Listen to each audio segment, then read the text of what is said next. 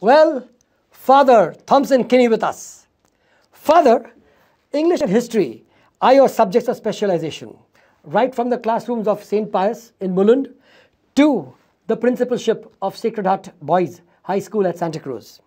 Do you feel that the new curriculum of the Maharashtra State Board is doing full justice to the students? Yes, I fully agree with it because the continuous comprehensive evaluation totally gives you uh, the full equipped one to go ahead. They have got those eight tools and the teacher in the class have to use his tools and make the lessons more interesting. And I think it is fully the Maharashtra government is full credit to that curriculum because it enhances the learning outcome of the student. Okay. And uh, one of the things that you must definitely be agreeing with the Maharashtra government, Father, is um, e-learning because you yourself are a very tech-savvy person at heart. So according to you, what are the main benefits, Father, of um, technology or students rather studying through technology for the 21st century student? I think technology is important in the life of a student because nowadays they are more in tune with the technology. And once a modern learning outcome comes in once you use the technology. And I feel technology is a must because it also enhances their learning. So in the field of education, technology is a must because if you want to be in tune with the student, you want to be one with the student, you need to move ahead with him or her with the walking in the footstep of the student. Fantastic. So bring yourself to the level of the student yes. is your mantra, yes. right? And as they say, uh, everything flows from the top to the bottom. Yes. So even your attitude. But um, how do you uh, incentivize different teachers because they have their own opinions vis-a-vis -vis the use of technology in the classroom? Yes. All of us are quite different. All of us have got different capacities. But as a teacher, if you want to see the future of your child, you need to move with the future.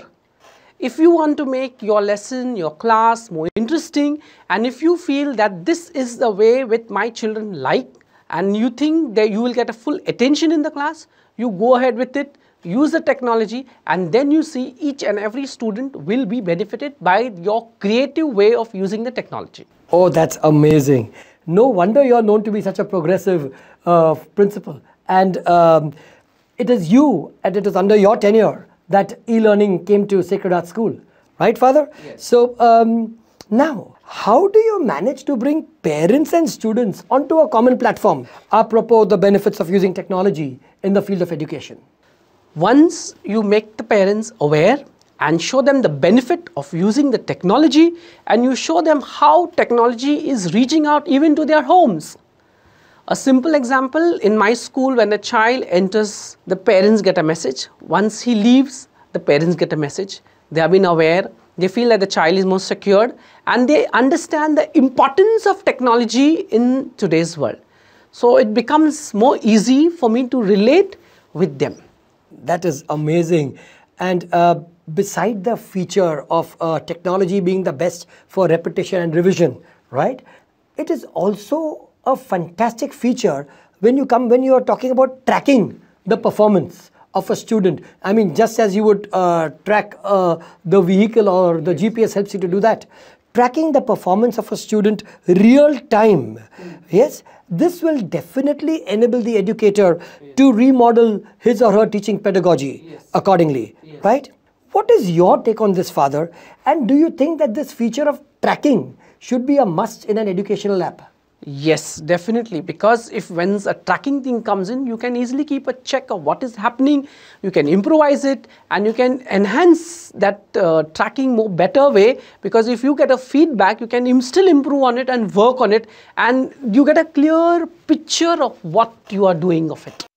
Yes, exactly, exactly. Okay, let's uh, move a little bit away from technology and let's come to uh, academics, I mean, of course, technology is now very much a part of it, an integral part of it. Um, academics, Father, we know how difficult it is now for the students to gain admissions into various colleges, right? right? Each and every mark counts, and how? Yes.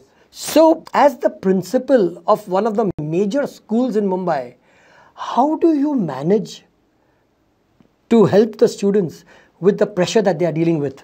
When they are at school with us, we, we give them an explorer to various experiences in their life, and these experiences also help them to cope with the stress and pressure in their life. The stress and the pressure is too much in the big world when they are in a small world with us. But once they are out, we train them in our school through various activities so that they have been able to face the challenges that are there outside. And when they face these challenges they will be in a better position to handle it and not be afraid to handle it. But with joyful they will be able to handle it. Terrific. So sacred heart students cannot be frogs in the pond. No they cannot be frogs in the pond. Correct. And um, now I'm going to say something which is going to really bring a broad smile to your lips, Father. Uh, you have been instrumental in designing the PT uniforms, yes, creating a very, very famous school band. So, obviously, even uh, yesterday when I was speaking to you, I felt that you were on the school ground rather than in your office, right? So, um, your views on co curricular and extracurricular activities extracurricular activities, co-curricular activities are important in life. At Sacred Heart, we ensure that it is not only studies, studies, studies. We also ensure that they take part in various co-curricular activities and at the same time, these activities will help them to build their future. Whether you are a good dancer or a singer or a player or whatever, we have got beautiful ground at Sacred Heart School. Oh, who hasn't seen that, Father? So once that ground, once you are with that, so we enhance to see that each and every student takes part in that co-curricular activities. For us, what is more important at Sacred Heart is not winning, but the participation of the student is important. That's so much the motto of the Olympics, yes. right? Participation is more important than winning.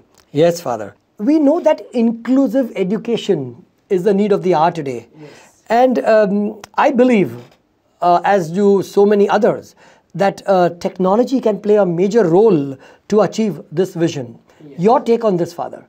For me, inclusive education is a must, and technology also enhances to know the ability of the student. So, using technology, the teacher also will know the cognitive ability of the child. So, technology is a must also in inclusive education. So, an absolute must. The cognitive abilities, the multiple intelligences, all can be mapped, mapped together and the teacher will be able to draw conclusion from that. Beautiful, beautiful, beautiful, Father. And now something that is very, very close at heart for you, Father.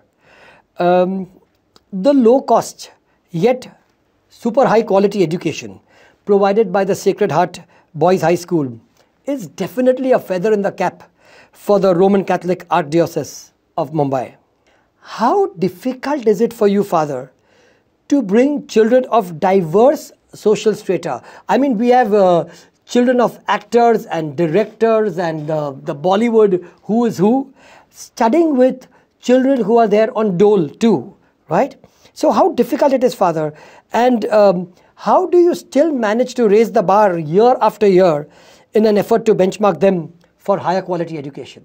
First and foremost, the motto for our school is for God and country looking into the uh, looking broad at that motto let me tell you that when i was a college student i used to teach in an ngo for the slum kids at Akanksha. So already that inclination was there. In my formation as a priesthood in my third year i was working in the tribal areas with the lowest katkari tribes. Oh. again education i was imparting education to them the simple people when I took over as a principal, that was there at the back of my mind, and I tried to ensure to see that everybody is treated equally, whether you're from the lower strata and what, whether you're from the higher strata. Everything should be equal.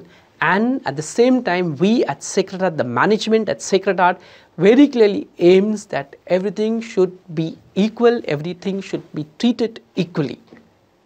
Beautiful. And that's how we were, the management tries to ensure to see that everything everybody is being treated equally and there is no division. So everybody gets equal treatment.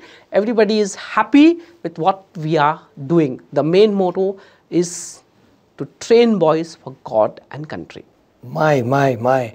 Very, very high vision. And that too um, in your 80th year. Am I right, Father? Yes. This is the 80th anniversary? Yes. Oh my God, what an achievement, Father. Something about your 80th anniversary. We are still in a planning stage and we are trying to see how we could have this program more meaningful. Ultimately, is not something we have a program and you forget, but how can we reach to each and every student as well as also have that inclusiveness of inviting others to be part of our celebration. Fantastic. Uh, looking forward to be surely a part of uh, your 80 years celebration, Father. And uh, what a pleasure it has been for all of us to have this um, teacher of history and English. Yes, a teacher first, teaching right from the slum areas, right to the tribals, from there, moving on to St. Pius School in Mulund, and now the principal at the Sacred Heart Boys High School. What a wonderful time, Father. Thank you very much for being with us. God bless you all, my friends.